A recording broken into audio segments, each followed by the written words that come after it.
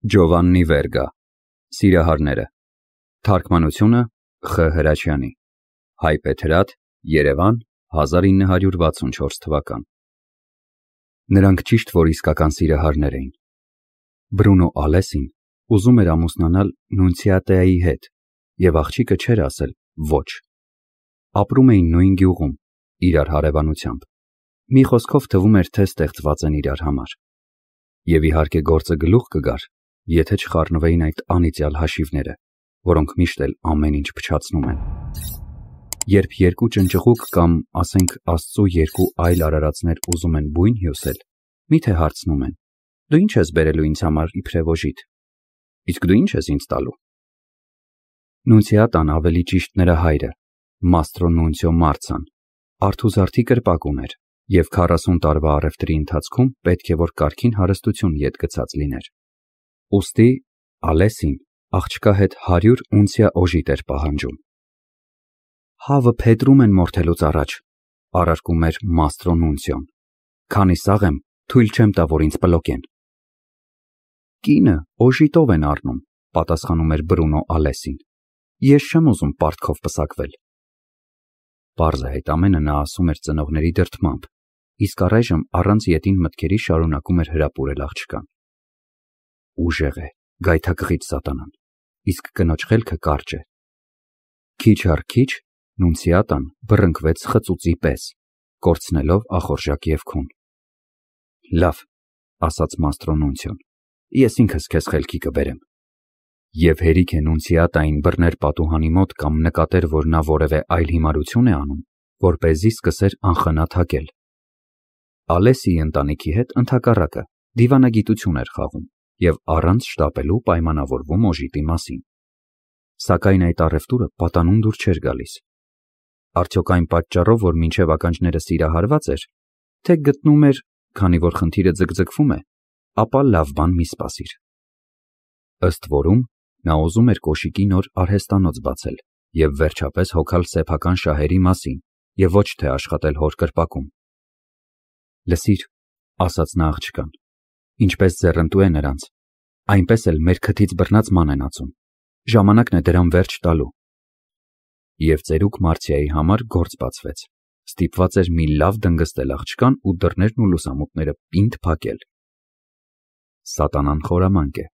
սակայն Բրունո Ալեսին սատանայից էլ խորամանկ էր։ Նա այնպես ցույց տվեց, թե մեկնում է շրջակա տոնավաճառներում մաշիկներ ու սապոգներ ծախելու, մինչդեռ ինքը Երբ Մաստրոնունցիոն հանգիստ քնած էր, թաղված բարձերի մեջ գիշերը եկավ նրա աղջկան անհանգստացնելու։ Սուրբ Մարիամ Աստվածածին ինչ անեմ ես։ Կամացուկ արտասվում էր Նունցիատան, գոքնոցով ծածկելով աչքերը։ Թե որ ինձ սիրում ես, ես կասեմ, թե ինչ պիտի անես։ Սակայն աղջիկը լսել չէր ուզում նրա հետ փախչելու մասին, չնայած Ալեսին համոզում էր, որ երբ կարկանդակը թխված լինի, Մաստրոնունցիային կմնա միայն ուտել այն։ Չէ, նա միշտ էլ օրինակելի աղջիկ է եղել։ Ինչքան չլինի, նրա երակներում հոսում է Մարցիայի արյունը։ Բացի դրանից, վաճառասեղանի հետևում կանգնելով, նա լավ գիտեր, թե ինչ ասել է առևտուր եւ ինչով են վերջանում որոշ գործեր։ Սակայն Բրունոն, որն ուրիշ ոչ մի բանի մասին չէր մտածում, մի գլուխ համոզում եւ համոզում էր աղջկան եւ կարողացավ այնպես խելքահան անել, որ նա խոհեմության վերջին մնացորդներն իսկ կորցրեց։ Պատուհանը ցածր էր, եւ կանգնելով թաթերի ծայրերին Բրունոն կարողացավ գրկել աղջկա վիզը։ Եվ այդպես շշնջալով, որ เป զի կողքի սենյակում քնած Մաստրո Նունցիոն չլսեր, նրանք երկուսով ավելի ու ավելի էին կրակվում, եւ աղջիկը հալվում էր ինչպես ձյուն։ Բացի դրանից, Բրունոն ցույց տվեց նրան կոշկակարի դանակը, որ պահում էր իր մոտ, եւ սպառնաց, որ բանը կարող է նույնիսկ ողբերգությամբ վերջանալ։ Ես ինձ կմորթեմ աչքիդ առաջ, Ամբողջ գյուղը կվազի, կգա նայելու, թե ինչպես եմ ընկել արնաթաթախ։ Այ այն ժամանակ դու գոհ կլինես։ Կտեսնես, սիրում եմ քեզ, թե ոչ։ Եվ պետք էր տեսնել նրա դեմքը։ Այդ խոսքերը սարսափեցնում էին Նունցիատային,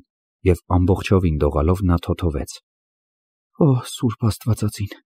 ինչ անեմ ես։ Լավ, որ այդպես է, ուրեմն դու ինձ չես սիրում։ Ավելի լավ է ամեն ինչ միանգամից վերջացնել։ Կարճ ասած, Նունցիատան ձանձրացավ ցերեկները հոր ծեծը տանել, իսկ գիշերները սիրածի սիրո եւ խանդի միևնույն տեսարանները։ Նա մի կապոցի մեջ հավաքեց իր իրերը եւ դուրս եկավ Բրունոյի մոտ, որ սպասում էր նրան փողոցում։ Երթվեցեք միայն, որ իսկույն կամուսնանաք ինձ հետ, առաջին հերթին ասաց նա Բրունոյին։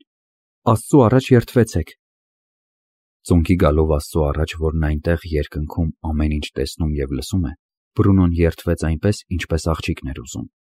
Մի ձեռքը նա դրեց կրծքին, իսկ մյուսով վկա կանչեց բոլոր հրեշտակներին ու սրբերին։ Միթե չգիտես, որ քեզ իմ կյանքից ավելի եմ սիրում։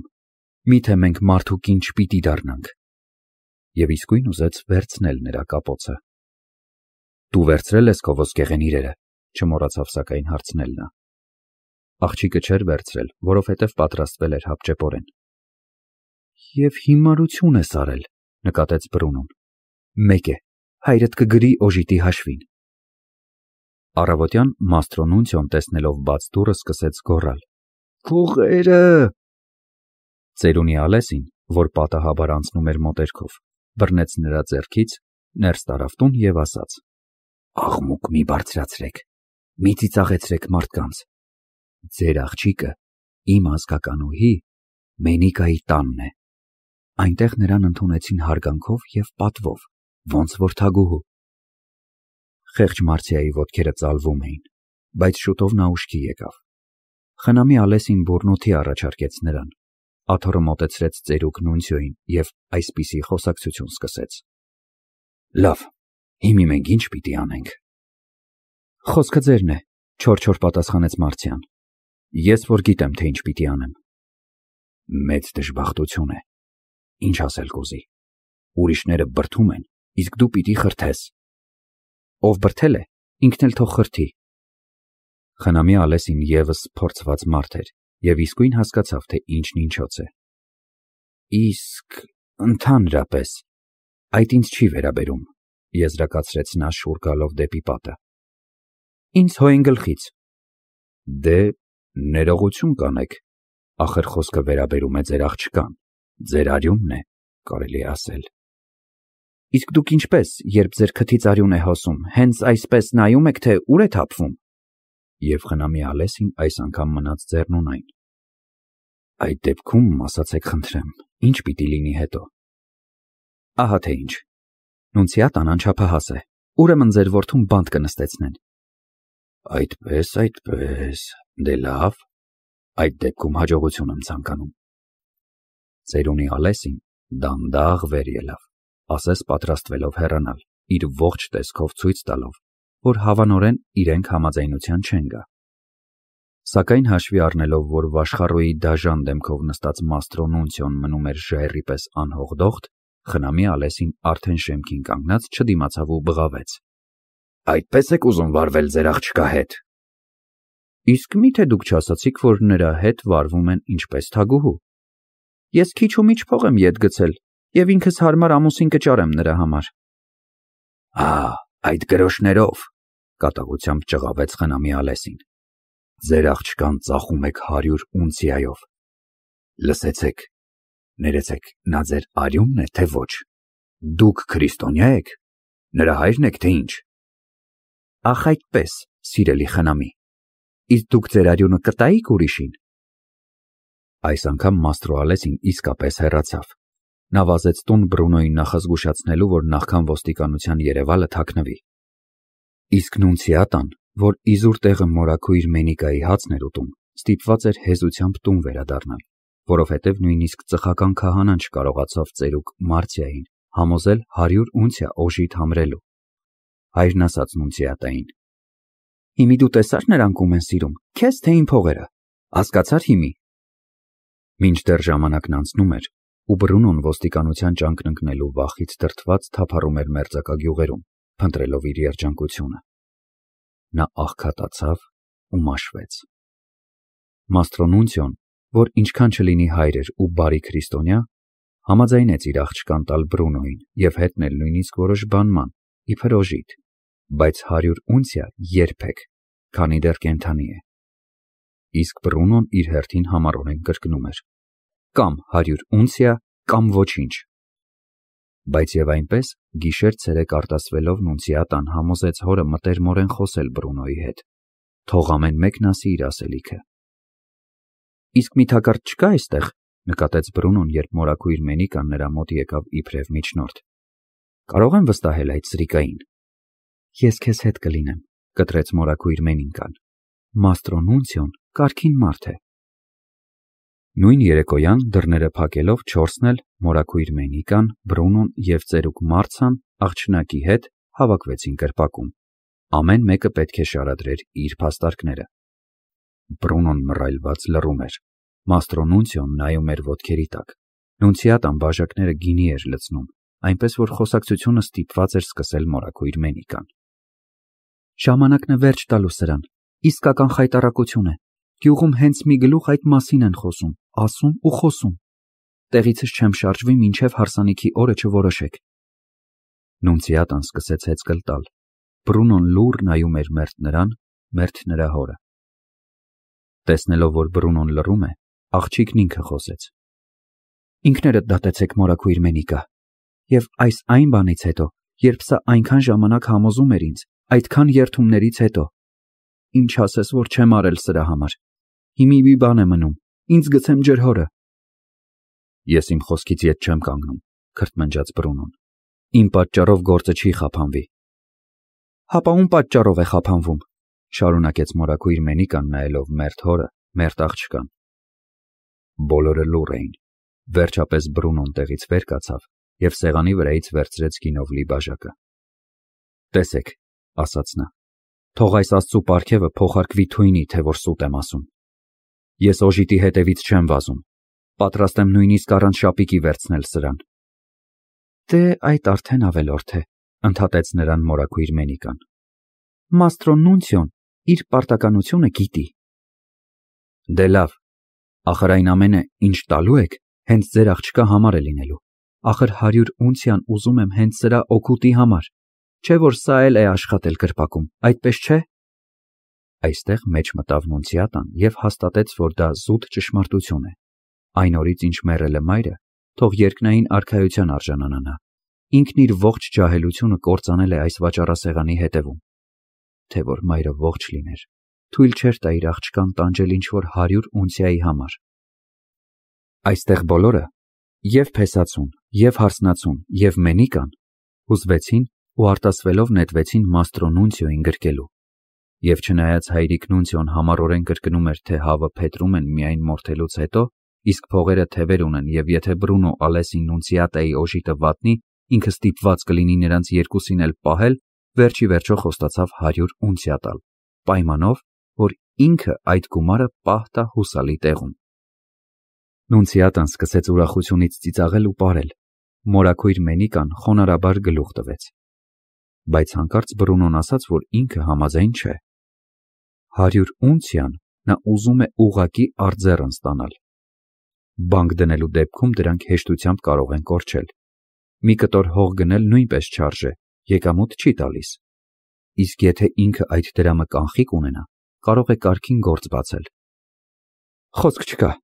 Լավ գործ եք ուզում սկսել իմ այս բաց բերանի հետ, որը հավատում է ձեր բոլոր ֆոկուսներին, ընդհատեց նրան ծերունի Նունցիան առաջվանից ավելի բորբոքվելով։ Ոչ, բղավեց հանկարծ Նունցիատան, բացելով աչքերն ու արցունքները սրբելով։ Ոչ, ես թույլ չեմ տա ինձ խაფել։ Այսպես ծխի նման ցնդեցին թե սեր, թե հարսանիքի հույսեր։ Հերանալից Բրունոն նետեց ուղակի Նունցիատայի երեսին։ Եվ դեռ ասում եք, թե ձեզ կգցեք ջրհորը։ Նունցիատան պատասխանը չուշացրեց։ Ինչպես որ դուք ուզում էիք ձեզ մորթել։ Մաստրոնունցիոն շրխկացրեց դուռը եւ զայրույթից կատաղած աղջիկը գնաց քնելու։ Եթե չհամարեր, որ ինքն ընկել է մի սրիկայի թակարդ, որի նմանը աշխարհը չի տեսել, Նունցիատան նրա ջգրու իսկույն կհամաձայներ ամուսնանալ առաջին իսկ պատահած մարդու հետ։ Բայց հայրն իր փողերով գտավ նրա համար Նինո Բադալոնային, նախանձելի մի ամուսին, որն արժեր ուրիշ երկուսին։ Ըստ որում նա իրեն չէր երևակայում Աստված գիտե թե ինչ, եւ Բրունոյի պահանջները չուներ։ Նունցիատան էլ պատշաճության համար ստիպեց նրան սկզբում խնդրել իրեն, դե իսկ հետո համաձայնեց։ Թե որ ձեզ դուր է գալիս, ես էլ եմ գոհ։ Նինո Բադալոնեն նույնպես գոհ էր։ Ամեն երեկո նա գալիս էր կրպակ, փոքրիկ նվերներ բերում նունցիատային եւ սիրահարվածի դեր խաղում, ուրիշներից ոչ վատ։ Մինչդեռ ծերուկ Մարցան կսակարկեր գնորդներին կամ վաճառասեղանի հետևում տանց կկշռեր, Նինոն աղջկա ականջին շշնջում էր նույն բառերը, ինչ որ մի ժամանակ Բրունոն։ Իմ սեր, իմ սիրտ։ Եվ դա աղջկան նույնպիսի բավականություն էր պատճառում, ինչպես առաջ։ Գիշերը վերմակի տակ պարկած նա մտածում էր. ոչ մի տարբերություն, բոլորովին էլ ավելի վատը չէ։ Իսկ Բրունոն, որ մնացել էր ձեռընթափ, մտածում էր ինքն իրեն. տեսնենք այս բոլորը ինչով կվերջանա։ Ամբողջ օրը նա թափառում էր փողոցում մեխակնատամների մեջ, իսկ գիշերները կանգնելով աղջկա դռան մոտ, խրպոտելու աստիճան երգեր երգում սիրո եւ ատելության մասին։ Երբ ժամերգության ժամանակ հանդիպում էր Նունցիատային, աշխատում էր իր հայացքներով շփոթության մատնել նրան, հարկադրել կարմրելու, բայց հաճախ ինքն էր մնում ամոթահար եւ ստիպված գլուխը ցած էր խոնարհում։ Լավ, ես քո փեսացուի հետ հաշիվներս կմաքրեմ, Չարությամբ թքելով մրթմրթում էր նա։ Փոշի կդարձնեմ նրան, արյունը կծծեմ։ Աշխարհում բարի բարեկամներ միշտ էլ կգտնվեն, եւ այդ խոսքերը հասան Նինո Բադալոնեի ականջին։ Նա առաջ զինվոր էր եղել եւ գիտեր իր գործը։ Լավ, ասաց Նինոն։ Տեսնենք ով ում։ Բարեկենթանին Կիրակի օրը Բոցոյի տանը մի փոքրիկ տոնախմբություն էր։ Բրունոն նույնպես այնտեղ գնաց իր հարմոնով, որ เป զի փոքր-ինչ ցրվի։ Ըստ որում գիտեր, որ Մաստրոնունցիան աղջկա հետ այնտեղ կգա եւ ուզում էր տեսնել, թե այդ ամենն ինչով է վերջանալու։ Եվ ահա Բրունոն նվագում էր, իսկ ընկերները ապարում էին։ Ներս եկավ Մաստրոնունցիոն, տոնականորեն զարդարված աղջկա հետ, իսկ նրանց հետևից հնդուհավի պես փքված Բադալոնեն։ Պարզապես հրաշք էր, որ այդ պահին Բրունո Ալեսին չընդհատեց նվագը եւ հիմարություններ չարավ։ Բայց իսկապես հոնա չէր կարող պարողներին անհարմար վիճակում թողնել։